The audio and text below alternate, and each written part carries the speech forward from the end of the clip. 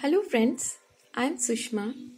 I made this beautiful wall art with the help of these acrylic colors to decorate the empty walls. First I thought let's buy some ready-made stickers. Then I thought why not bring out the artist inside me. Beautiful and pocket-friendly stickers are available in the market and shopping sites but you don't get a chance to show your creativity again and again. I took the idea of this art from a sticker and also made some extra touch up like these branches and these beautiful pink flowers.